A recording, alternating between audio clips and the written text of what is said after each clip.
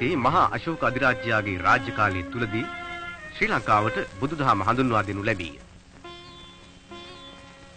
බුදුන් වහන්සේගේ කල්පිතයන් මූර්තිමත් වූ ධර්මිෂ්ඨ විනයගරුක සමාජයක් දිවයිනේ පසු කාලීන ඉතිහාසයේ ජීවමාන බලවේගයේ බවට පත් වීය.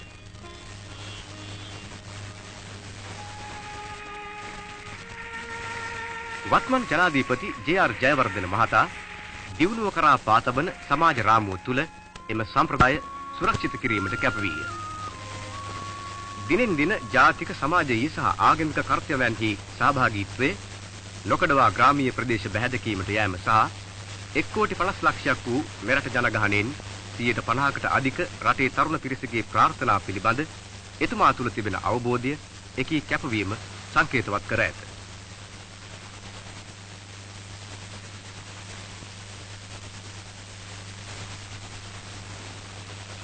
ජාතියේ ජීව රුධිරය දරුවන් සහ කාන්තාවන්ය.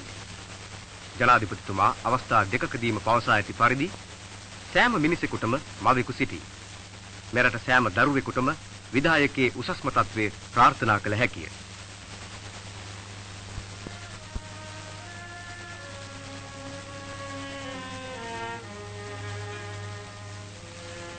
ජනතාවට වඩාත් ඵලදායී සහ අර්ථවත් ලෙස රටේ ප්‍රජාතන්ත්‍රවාදී සහ පාර්ලිමේන්තු සම්ප්‍රදාය ජනාධිපති ජයවර්ධන විසින් අත්‍යන්ත ලෙස වැඩි දියුණු කරන ලදී.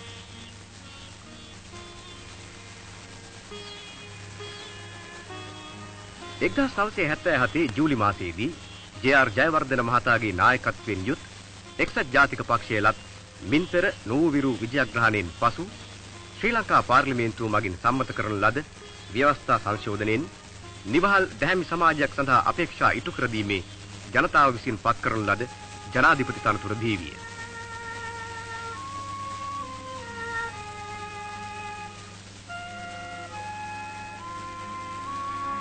ශ්‍රී ලංකා ව්‍යවස්ථාදායකේ අවුරුදු 40කට ආසන්න කාලයක් කරන ලද සේවයෙන් පසු ජේ.ආර්. ජයවර්ධන මහතා 1978 පෙබරවාරි 3 වෙනි දින පාර්ලිමේන්තුවෙන් සමුගත්තේය.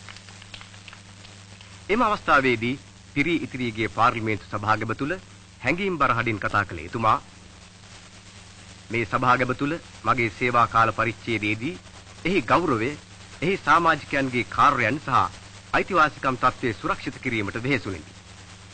ප්‍රජාතාන්ත්‍රික නිදහස රැක ගැනීමටත් සෞභාග්‍යමත් සහ ප්‍රීතිමත් ජීවිතයක් ජනතාවට උදා කර දීමටත් මේ ගරු සභාව තුල සිටින සියලු පක්ෂවල මගේ සමකාලීනයන්ගෙන් මෙසේ කීමට අවසර පතිමි. තමා වෙතට ආලෝකය හරවා ගන්න. තමා වෙතම තමා පහනක් වන්න. සත්‍යගරුක වන්න. මේ ජීවිතයේදී හෝ ඉන් එහාට කිසිදු පීඩාවක් ඉන් ඇති නොවේ.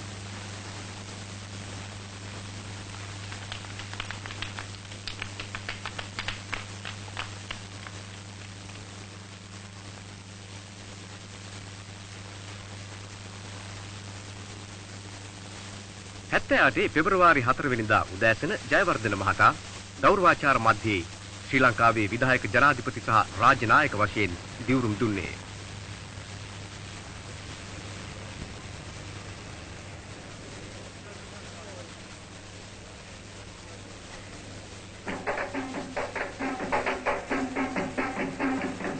වසර 2500කට අධික මෙරට ඉතිහාසයේ ප්‍රථම ජනතා ජනාධිපති වශයෙන් ජයවර්ධන මහතා ජනතා පරමාධිපත්‍යය සහ ජනරාජ්‍ය ව්‍යවස්ථාව සුරක්ෂිත කරන බවට ප්‍රතිඥා දුන්නේය.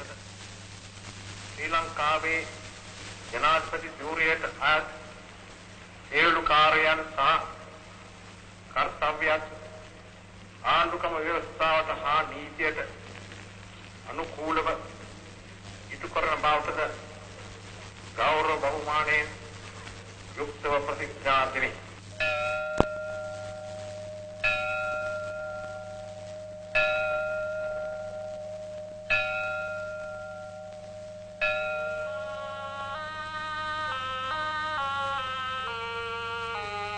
මහනුවර ඓතිහාසික දළදා මැදුරේ පත්තිරිප්පුවේ සිට ජනතාව අමතමින් බුදුන් වහන්සේගේ ඉගැන්වීම් පදනම් කොට ධර්මිෂ්ඨ සමාජයේ බිහි කිරීමට එක්සත් ජාතික පක්ෂ රජය විසින් දෙනු ලැබූ පොරොන්දුව ඉටු කරන බව පැවසීය.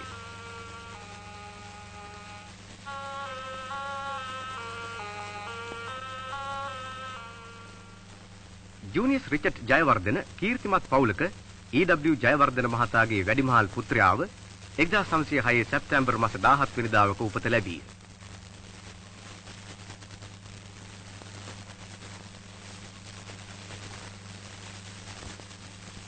ඊ.ඩබ්ලිව් ජයවර්ධන මහතා රාජනීතිඥවරයෙකි. පසුව ශ්‍රී ලංකා ශ්‍රේෂ්ඨාධිකරණයේ සත්කීර්තිමත් විනිශ්චයකාරවරයෙකු විය. ජේ.ආර් ජයවර්ධන මහතා උපතලත් සහ සිය ළමාවිය ගත කළ නිවස පාක් රෝඩ්හි හිත් සහ සමාගම ඉදිරිපිට පිහිටා ඇත.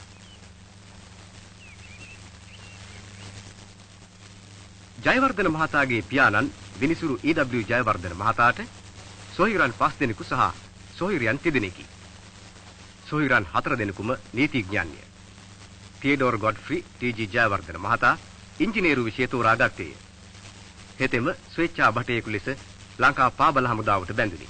පසු කලක එහිම කර්නල්වරයෙකු වූ ඒ මහතා එම සේනාංකයේ අනදින නිලධාරී තනතුරට උසස් විය. හෙක්ටර් ඇල්ෆ්‍රඩ් ජයවර්ධන ප්‍රබල දේශපාලන නායකයෙකු විය. නීතිඥයෙකු සහ ශූර කතිකයෙකු වූ හෙතෙම 42 වෙනි වියේදී අභාව ප්‍රාප්ත විය.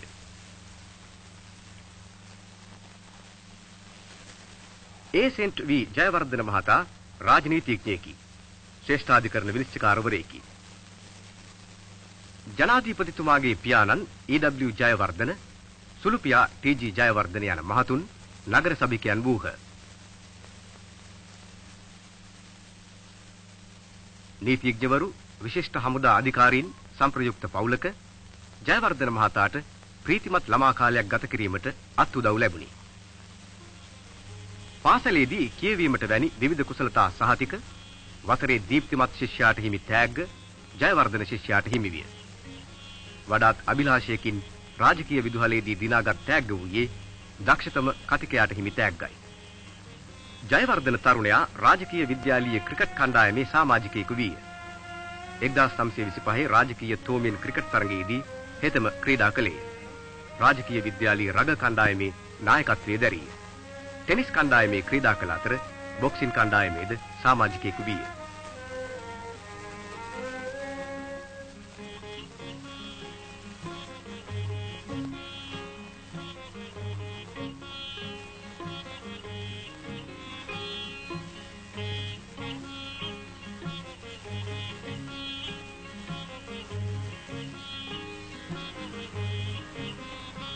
ඒ අතර රාජකීය විද්‍යාලීය වාර්ෂික සංග්‍රහයේ සංස්කාරක විය.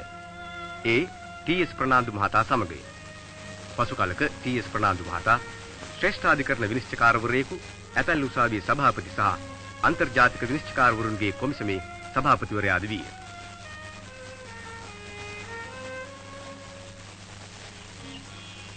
විදුහලේ නාට්‍ය ශාස්ත්‍රයේද මුල් තැනක් ගත් තරුණ ජයවර්ධන ශිෂ්‍යයා වන්ඩරින් ජූ වැනි නාට්‍ය කිහිපයකට රඟපෑය.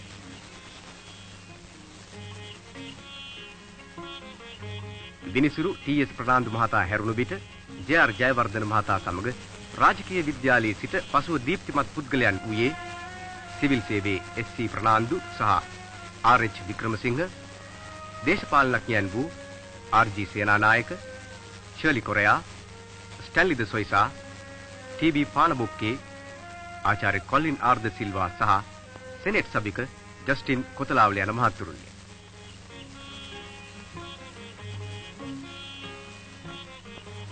රාජකීය විදුහලින් පසුව ජයවර්ධන මහතා ලංකා විශ්වවිද්‍යාලයේ සහ ලංකා නීති විද්‍යාලයට ඇතුළත් විය.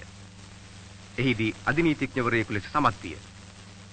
නීති විද්‍යාලයේදී කතිකත්වයේ සඳහා වන හෙක්ටර් ජයවර්ධන රන් පදක්කම සහ නීති සමීක්ෂණය සඳහා වන දිනිසුරු වෝල්ටර් පෙරේරා තිලිනේද එතුමා දිනාගත්තේය. එකම අවුරුද්දක එකම ශිෂ්‍යයෙකු විසින් මෙම තෑගි දෙකම දිනා ගැනීමේ වාර්තාව මෙතෙක් කිසිවෙකු විසින් බිඳ දමා නැත. 1932 මාර්තු මාස 18 වෙනිදා අධිනීතිඥවරයෙකු ලෙස දිවුරුම් දුන් ජේ.ආර්. ජයවර්ධන මහතා එම අවුරුද්දේම නීතිඥ වෘත්තියට පිවිසියේය. වෘත්තීයමය වශයෙන් උසස් ස්ථානයකට සමීප වූ හෙතෙම කෙටි කලක් නීතිඥ ප්‍රභූන් ඇසුරේ පසුවිය. ඔවුන් අතර රාජනීතිඥ එන්.ඊ. වීරසූරිය, රාජනීතිඥ එච්.වී. පෙරේරා, රාජනීතිඥ ශ්‍රීමත් ලලිත රාජපක්ෂ සහ රාජනීතිඥ ඊ.බී. වික්‍රමනායක යන මහත්තුරුද වූහ. ජේ.ආර්. ජයවර්ධන සාර්ථක නීතිඥයාට නීතිඥ මණ්ඩලයේ සිටිය හැකිව තිබුණද එතුමාගේ හිත දේශපාලනයේ පුරා පැතිර ඇති බව පැහැදිලි වීය. එතැන් සිට දේශපාලනයට පිවිසි ජයවර්ධන මහතා ඩඩ්ලි සේනානායක මහතා සමග එක් වී ලංකා ජාතික සංගමයේ පුනරුත්ථාපනය කොට එම සංගමේ සමලේකම්වරයා බවට පත්විය.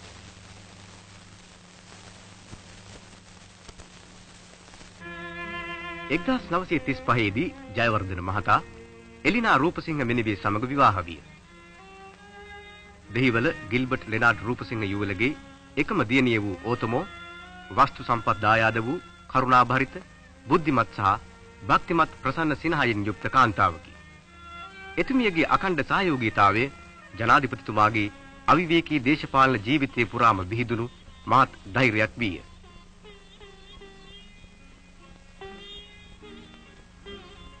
ජනාධිපතිතුමා සමග එතර නිලචාරිකා කිහිපයකදීත් මෙහි පැමිණි රාජ්‍ය නායකයන් සහ අමුත්තන් පිළිගැනීමේ අවස්ථාවන්හිදීත් එතුමිය සහභාගීත්වයේ දරුවාය.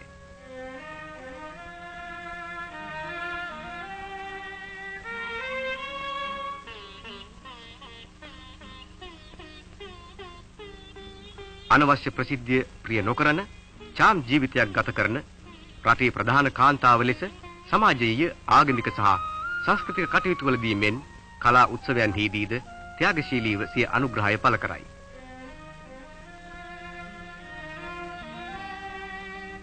ජයවර්ධන ආර්යාවගෙන් සිය දීර්ඝකාලීන දේශපාලන ජීවිතයට නොකඩවා ලැබුණු සහයෝගීතාවය ජනාධිපතිතුමන්ට මේ විශිෂ්ට ජයග්‍රහණය කරා ලංවන්නට ආශිර්වාදයක් වීය.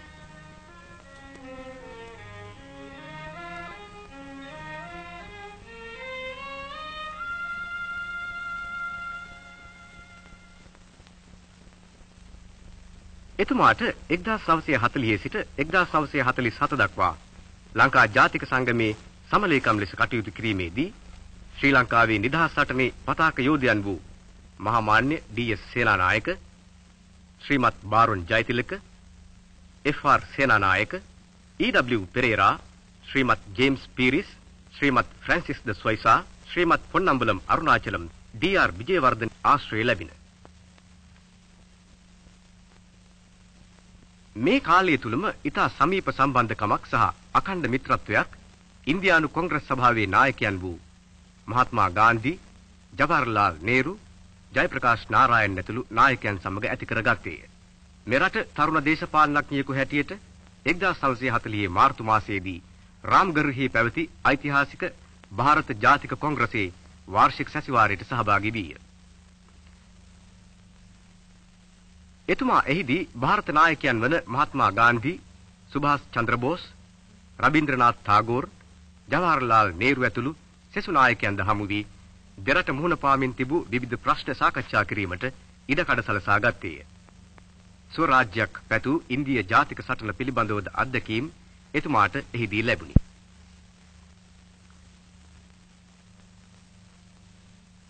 කොළඹ මහනගර සභාව ශ්‍රී ලංකාවේ දේශපාලන නායකයන් බොහෝ දෙනෙකු බිහි කළ කේන්ද්‍රස්ථානයකි.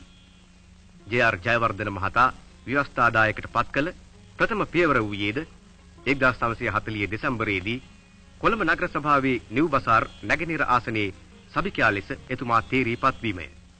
මෙම ආසනය 1865 සිට දිනාගත්තේ ජයවර්ධන පවුලේ සමාජිකයන්ය. 940 සිට 43 දක්වා ජයවර්ධන මහතා නගර සභිකයෙකු ලෙස ලද අත්දැකීම් ලංකා රාජ්‍ය මන්ත්‍රණ සභාවේ සභිකයෙකු ලෙස තේරීපත් වීමේ සම්දිස්ථානයක් විය.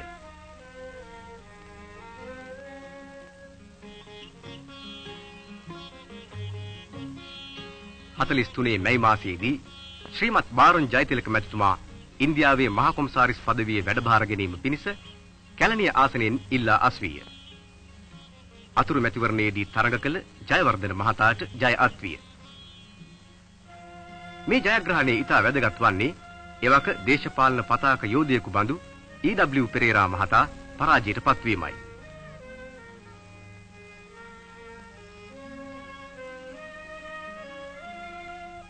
ඡන්ද ලකුණු නොතිබින. සුදු පාටින් ආ ජයවර්ධන මහතා ඡන්ද 22000ක් සහ කොළ පාටින් ආ පෙරේරා මහතා ඡන්ද 11000ක් ලැබීය. ජයවර්ධන මහතා ජාතියේ මහා පුරුෂයන්ගේ ඇසුර ලැබීය. රට නිදහස් කර දීමේ නායකත්වයේ වගකීම් බෙදා හදා ගත්තේය. 1943 මැයි මාස 25 වෙනිදා රාජ්‍ය මන්ත්‍රණ සභාවේ සභිකයෙකු ලෙස ජයවර්ධන මහතා දිවුරුම් දෙද්දී එහි වූ සෙසු නායකයන් වූයේ මන්ත්‍රණ සභාවේ නායක ඩී.එස්. සේනානායක, පළාත් පාලන අමාත්‍ය එස්.ඩබ්ලිව්.ආර්.ඩී. බණ්ඩාරනායක, ප්‍රවාහන අමාත්‍ය ශ්‍රීමත් ජෝන් කොතලාවල, සෞඛ්‍ය අමාත්‍ය ජෝර්ජ් ඊ.ද. සිල්වා, අධ්‍යාපන අමාත්‍ය සී.ඩබ්ලිව්.ඩබ්ලිව්. කන්නංගර, කම්කරු, කර්මාන්ත සහ වෙළඳ අමාත්‍ය ජී.සී.එස්. කොරයා, ස්වදේශ කටයුතු අමාත්‍ය ඒ මහදේව යන මහත්තුරුන්ය. ජයවර්ධන මහතාගේ සමකාලීනිකයන් වූයේ Dudley Senanayake, R S S. Gunawardena, M D. Banda, M C M. Kaleel, A Ratnayake, P de S. Kularatne සහ ජී.ජී. පොන්නම්බලම් යන මහත්තුරුන්ය.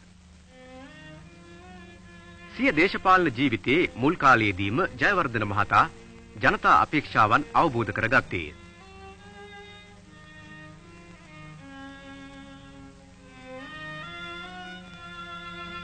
සිංහල රජබස කළ යුතුයයි 1944 මැයි 24 වෙනිදා රාජ්‍ය මන්ත්‍රණ සභාවට යෝජනාවක් ඉදිරිපත් කළේය.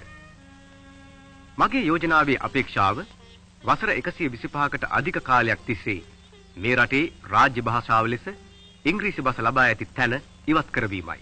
අපේ උසාවිවල, අපේ රජයේ දෙපාර්තමේන්තුවල සහ අපේ බොහෝ ජන කොටස් වලින් නිරූපණය වන මේ ඛේදවාචකය නිරන්තරයෙන්ම ඊට පැහැදිලි ලෙසින්ම බැද්දේගම නම් වූ ප්‍රසිද්ධ ග්‍රන්ථියේ දක්වා ඇත. කාටත් ඒ කියවන ලෙස මා උපදෙස් දෙනවා.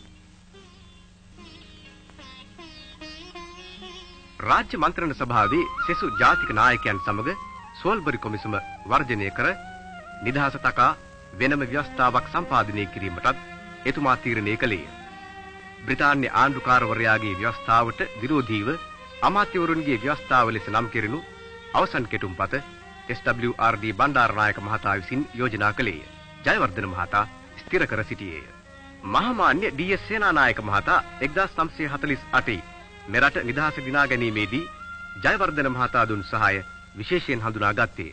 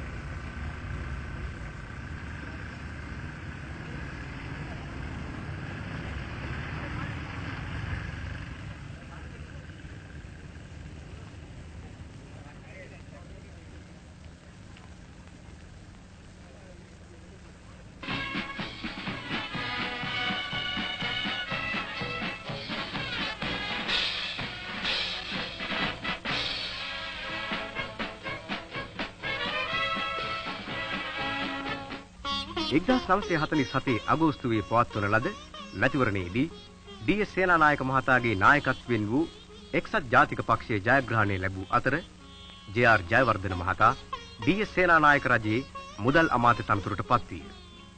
එතුමා පොදුරාජ්‍ය මණ්ඩලයේ ලාබාලම මුදල් අමාත්‍යවරයා වූ අතර ඩී.එස්. සේනානායක සහ ඩඩ්ලි සේනානායක යන අගමැතිවරු යටතේ වූ අයවැය වාර්තා හතක් මේ දක්වා ඉදිරිපත් කළ ශ්‍රී ලංකාවේ ලාබාලම මුදල් අමාත්‍යවරයාද වීය.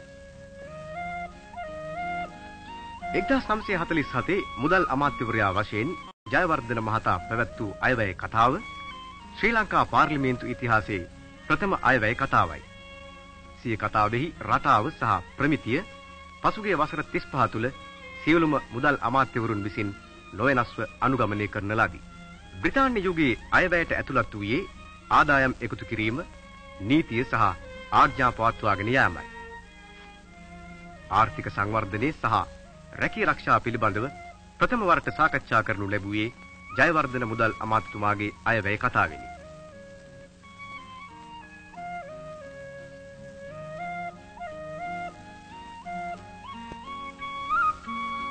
දියුණු සමාජ සැලසුම්, නිදහස් අධ්‍යාපනය, නොමිලේ කිරි සහ ආහාර දරුවන්ට දීම, අත්‍යවශ්‍ය භාණ්ඩවලට සහනාධාර දීම එහිදී සාකච්ඡා විය. බ්‍රිතාන්‍ය කොලනියක්ව තිබූ ආසියානු රටක ප්‍රථම වරට සංවර්ධන කාර්යයන් සටහන් වූ 1948 පැවැත් වූ දෙවැනි අයවැය කතාවෙන් සය අවුරුදු සැලැස්මක් පාර්ලිමේන්තුවට ඉදිරිපත් කර සිටියේය.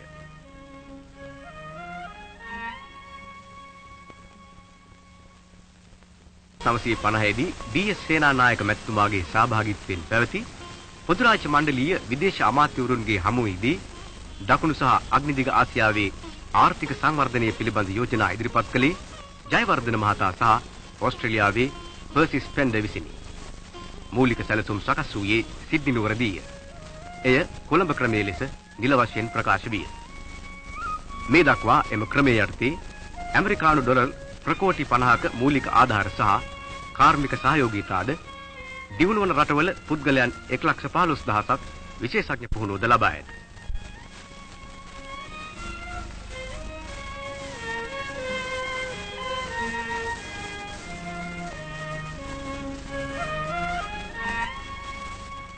එතැන් සිට ඉදිරියට ලෝක රාජ්‍යයන්හි අන්තර්ජාතික සමුළුවලදී එතුමාගේ හඬ ඉස්මතු වන්නට පටන් ගනී. 1945 දෙවැනි ලෝක යුද්ධ සමයේ පරමාණු පිපිරවීමෙන් හිරෝෂිමා සහ නාගසාකි නම් වූ ජපානයේ නගරවල දහස් ගණනක් ස්ත්‍රී පුරුෂයන් සහ දරුවන් අති බිහිසුණු ලෙස මරණයට පත්විය. ඉතිහාසයෙන් මේ අඳුරු පැල්ලම ඉවත් කර දැමීමට සැන් ෆ්‍රැන්සිස්කෝ සාම සම්මුතිය අත්සන් තැබුණු අතර ශ්‍රී ලංකාව වෙනුවෙන් ජේ.ආර්. ජයවර්ධන මහතාගේ අත්සන ඊට ඇතුළත් වීය.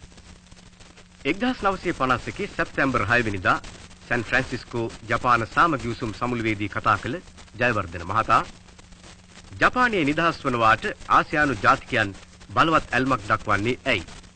ජපානයේ සමග පවතින දීර්ඝකාලීන සම්බන්ධතාවය නිසා ආසියාතිකයන් ජපානයේ කෙරෙහි දක්වන්නේ දැඩි ආදරයක්. ඇය නිදැල්ලේ ශක්තිමත්ව නිදහසේ සිටිනු අපි බලා සිටිමු. තවදුරටත් කතා කළ ජයවර්ධන මහතා වෛරය වෛරයෙන් නොව ප්‍රේමයෙන් සංසිඳිය යුතුයයි කෝටි ගණනක් වූ ආසියාකරයේ ජීවිතවලට බලපෑ පණිවිඩය අපි විශ්වාස කරමු.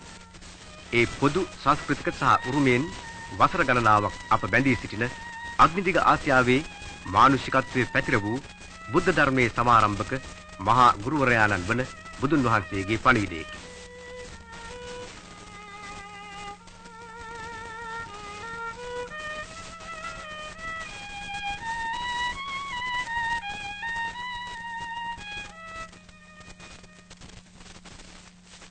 ජයවර්ධන මහතා විටින් විට විවිධ අගමැතිවරු යටතේ සේවය කළේය.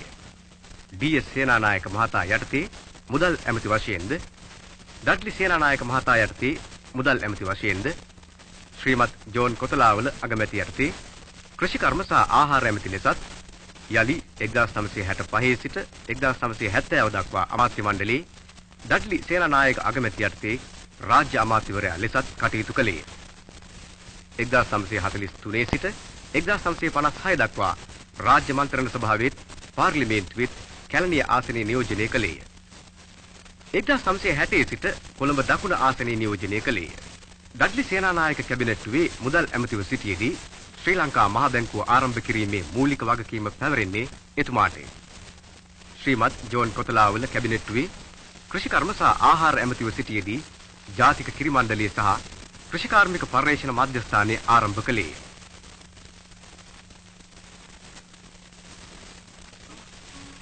කෘෂිකර්ම සහ ආහාර අමාත්‍යවරයා ලෙස සිටියේදී ප්‍රථම වප් මගුල් උලෙල 1953 දී අහංගමදී පවත්වනු ලැබී.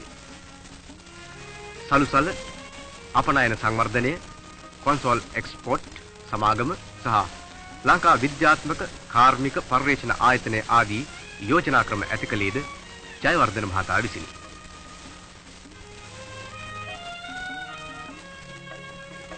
එක්දා සවසය හැට පහ හැත්තෑව දක්වා රාජ්‍ය අමාත්‍යව සිටියේදී සංචාරක ව්‍යාපාරය පිළිබඳ මූලික අදහස සැලසුම් කිරීම හේතුකොට සංචාරක ව්‍යාපාරය එතුමාට ණය ගැතිය.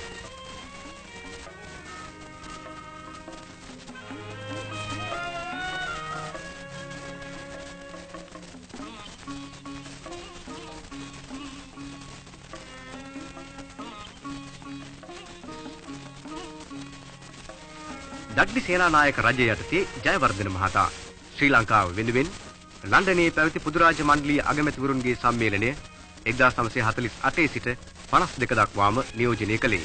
මුදල් අමාත්‍යවරුන්ගේ සම්මේලනද එතුමා නියෝජනය කර ඇත. 40 ගණන් වල සිට 52 දක්වා එතුමා ලෝක බැංකුව සහ අන්තර්ජාතික මුදල් පිළිබඳ අරමුදල සමග කිට්ටු සබඳියාවකින් යුක්ත විය. 1960 ජූලි මැතිවරණයේදී බහු ආසනයක් වූ දකුණු කොළඹ ප්‍රථම මන්ත්‍රීවරයාවකෙන් තීරී පත්විය. 1970 දී එතුමාගේ ආසනය සුරැකුණු නමුත් එක්සත් ජාතික පක්ෂය පරාජයට පත්විය. එක්සත් ජාතික පක්ෂයේ පරාජයට පත් වූ නමුත් එහි නායකත්වය දැරූ ඩඩ්ලි සේනානායක මහතා ජයවර්ධන මහතා කැඳවා පාර්ලිමේන්තුවේ සිටින සිය පක්ෂයේ මන්ත්‍රීවරුන් කිහිප දෙනාගේ මූලිකත්වය ගන්නා ලෙස දැන්වූයෙන් එතැන් සිට විරුද්ධ පක්ෂයේ නායකයා වීය. 70වත් 77ත් අතර කාලයේ රට අඳුරු කාල පරිච්ඡේදයක් වෙත පිරිහි පසුබසිමින් තිබින. 1971 දී ත්‍රස්තවාදී මතුවී තරුණ කොටස් රජයට විරුද්ධව කැරලි ගැසීය. හදිසි නීතිය යටතේ සයවසක් පාලන බලය දීර්ඝ කරගත් රජය සමග ගැටෙන්නට විරුද්ධ පක්ෂයේ නායකව සිටි ජයවර්ධන මහතාට සිදුවිය.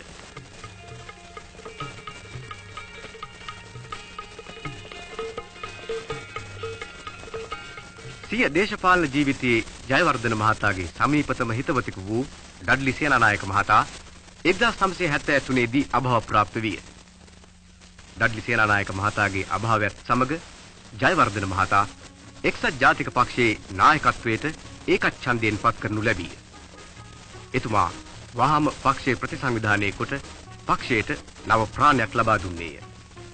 පෞල් බලය, පෞල් පාලනය සහ පුද්ගල පක්ෂපාතීත්වය පක්ෂය තුලින් ඉවත් කර දැමීය.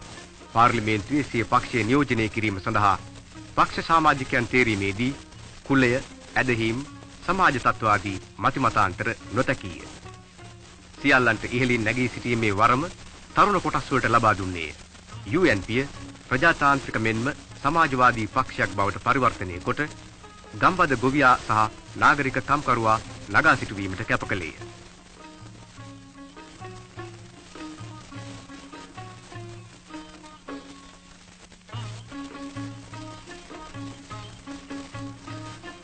ශක්තිමත් පක්ෂ ශාඛා තරුණ සංවිධාන සහ කාන්තා සංවිධාන පිහිටුවා නව රුධිරයක් සහ ජීවයක් පක්ෂ ශාඛාවලට මෙන්ම කොළඹ මූලස්ථානයටද ලබා දුන්නේ.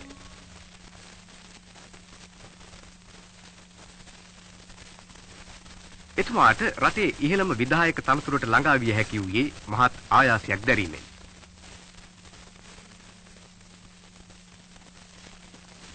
ජනවරමකින් තොරව පාර්ලිමේන්තුවේ නිල කාලයේ දීර්ඝ කිරීම, පුවත්පත් නිදහස සීමා කිරීම වැනි ප්‍රජාතන්ත්‍ර විරෝධී ක්‍රියාමාර්ගවලට විරුද්ධව සටන් කිරීමටද ජයවර්ධන මැතිතුමාට සිදුවිය.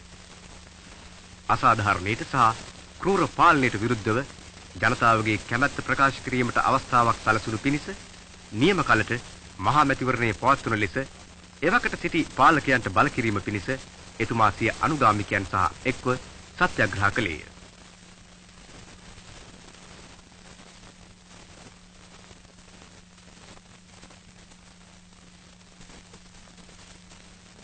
එක්දහස් නම්සේ හැත්තෑ පහේදී එවකට සිටි සමගි පෙරමුණු රජය ජනමත විචාරණයකින් හෝ මහා මැතිවරණයකින් තොරව හුදෙක් පාර්ලිමේන්තුවේ තුනෙන් දෙකක වැඩි ඡන්දයෙන් පමණක් පාර්ලිමේන්තුවේ නිල කාලය දීර්ඝ කරගත්තේ. ජයවර්ධන මහතා ඊට විරෝධය පෑවේ 1975 මැයි 21 වෙනිදා තමා නියෝජනය කළ දකුණු කොළඹ අසුනෙන් ඉල්ලා අස්වීමෙන්. එම වසරේම ජූලි 18 වෙනිදා පැවති අතුරු මැතිවරණයෙන් 25 එකක වාර්තාගත වැඩි ඡන්ද සංඛ්‍යාවක් ලැබමින් යලිත් එම අසුනට තේරීපත් විය.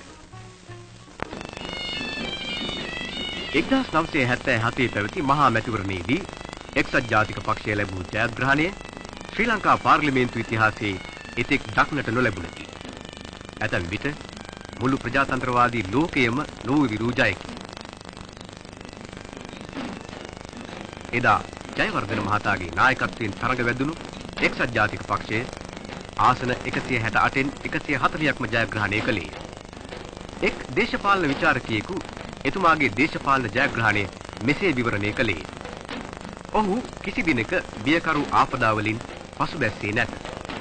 ඒ වෙනුවට පෙරටත් වඩා වැඩි අදිෂ්ඨානයකින් නැගී සිටමින් ඔහු ආදරය කරන රටටත් ජනතාවටත් ඉතිහාසයේ හිමිතැන ලබා දීම පිණිස නායකත්වයේ ගනිමින් ක්‍රියා කළේ.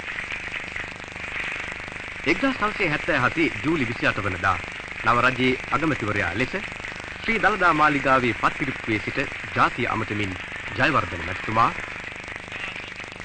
ලැබුණට පසු මේ ස්ථානයෙන් තමයි අගමැතිවරු මහජනයාට කතා කරුවේ.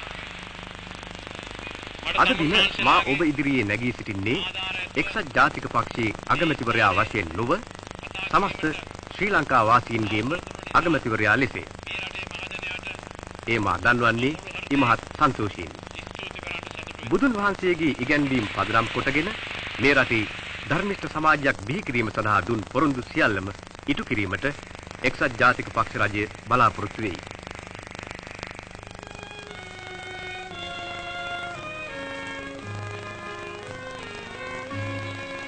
ජයවර්ධන මැතිතුමා මේ රටේ නායකයා ලෙස තනතුරු ලබා ගත්තා සිට එතුමාගේ මූලික අභිප්‍රාය වූයේ වැඩි වැඩියෙන් රැකියා ලබා දීමයි.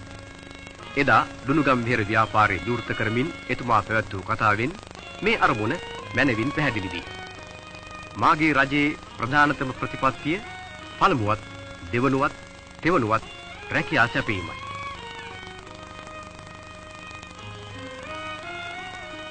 කඩිනම් මහවැලි යටතේ ඉදිවන කොත්මලේ රන්දිනිගල වික්ටෝරියා සහ මාදුරුවේ විශාල ජලාශ යෝජනා ක්‍රම කටුනායක සහ බියගම නිදහස් වෙළඳ කලාප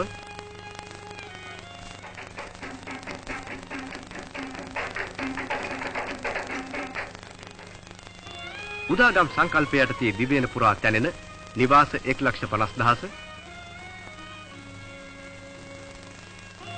ප්‍රධාන නගරවල සිදු කෙරෙන විශාල නාගරික සංවර්ධන සැලසුම් නිදහස් වෙළඳ ප්‍රතිපත්තිය සහ විවෘත ආර්ථික ක්‍රමය මහ පොළ සහ ස්වර්ණ භූමියේ වැඩපිළිවෙල ආදිය 1977 ජයවර්ධන ආණ්ඩුව බලයට පත් වූ දා සිට ආරම්භ කර ඇති දැවැන්ත සංවර්ධන යෝජනා ක්‍රමයේ අංශ කිහිපයක් පමණකි.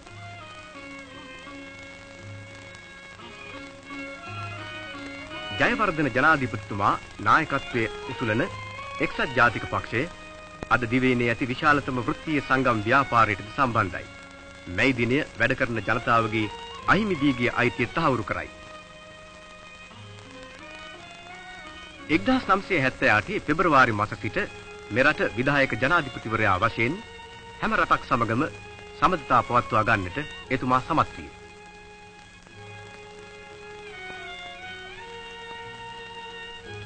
හවානාහි පැවති නොබැඳි සමුළුව නිමිත්තෙන් කියුබා ජනාධිපති ෆිදෙල් කැස්ට්‍රෝ හමු විය.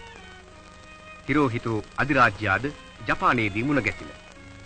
මීට අමතරව දිවයිනට පැමිණි විවිධ විදේශීය රාජ්‍ය නායකයන් හා සම්භාවනීය අමුත්තන් සංඛ්‍යාව සෙසු රටවල නායකයන් එතුමා කෙරෙහි දක්වන මිත්‍රත්වයේ සහ සෝදතාවේ සංකේතයකි.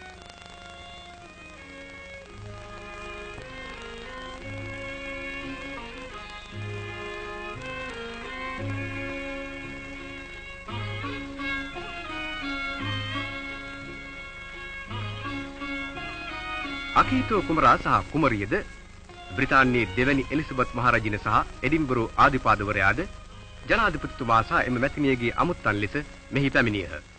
එම දෙපොළ සර්වජන ඡන්ද බලය ලැබීමේ 50 වෙනි සංවත්සර උත්සවවලටද සහභාගී විය.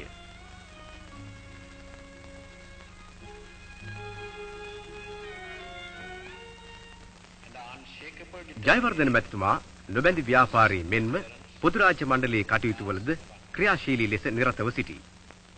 It was at the Colombo conference that Jawaharlal Nehru, in his opening address on the 28th of April 1954, said, The main problem in the world was the continuing problem of the Cold War between two blocks of big powerful countries.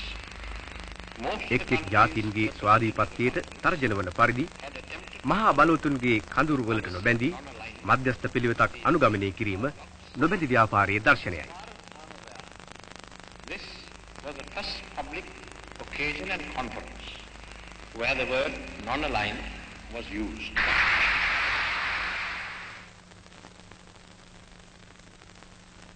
ජීවමාන ප්‍රජාතන්ත්‍රවාදී ක්‍රමයකට ඔබින පරිදිම දේශීය වශයෙන්ද විරුද්ධ පක්ෂ නායකයන් හා සුහද සබඳතා පවත්වා ගන්නට එතුමා සමත්ව සිටි. ජූනියස් රිචඩ් ජයවර්ධන භක්තිමත් බෞද්ධයෙකි. තියුණු අවබෝධයකින් යුතුව බුදුදහමේ ඉගැන්වීම් හදාරන්නෙකි.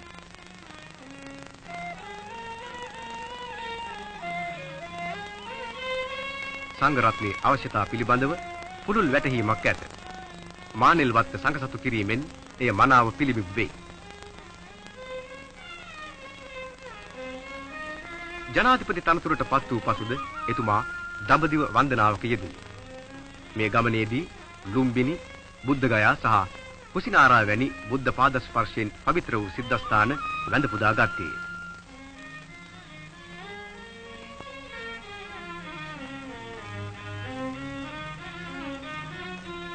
බුදුදහම සහ මාක්ස්වාදය බෞද්ධ ලිපි බුදුන් වහන්සේගේ දේශනා තුන සතුට සඳහා බුදුන් දෙසූ මඟ එතුමා විසින් ලියන ලදී. බුදුදහම පිළිබඳව එතුමා තුළ ඇති අචල භක්තිය සිය ජීවිතේ පුරාම ජයවර්ධන මැතිතුමා මෙහෙය වූ බලවේගය වූාට කිසිදු සැකයක් නැත.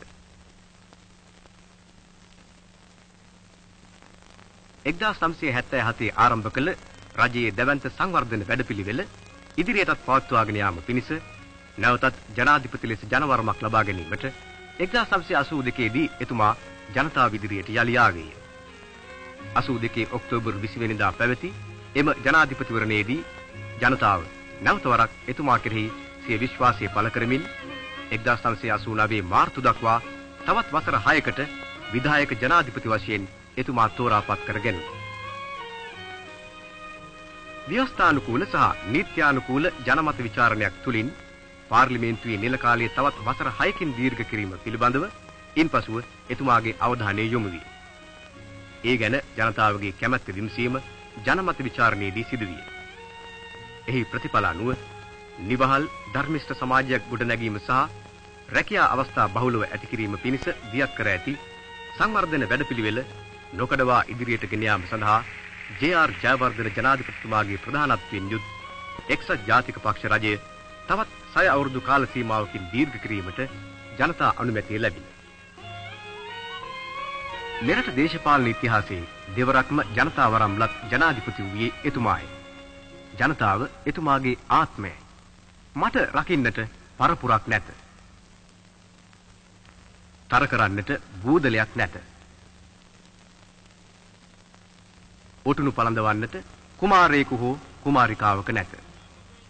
මට රකින්නට ඇති පරපුරත් තර කරන්නට ඇති බූදලයත් ඔටුන්න හිමි කුමාර කුමාරිකාවොත් රටේ මහා ජනතාවයි.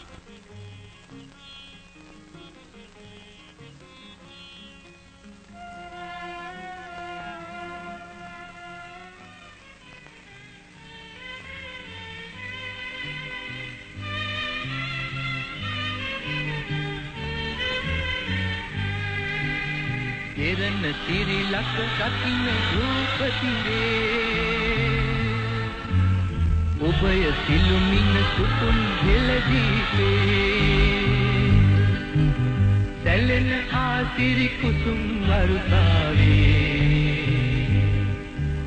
දිනෙන් දිනේ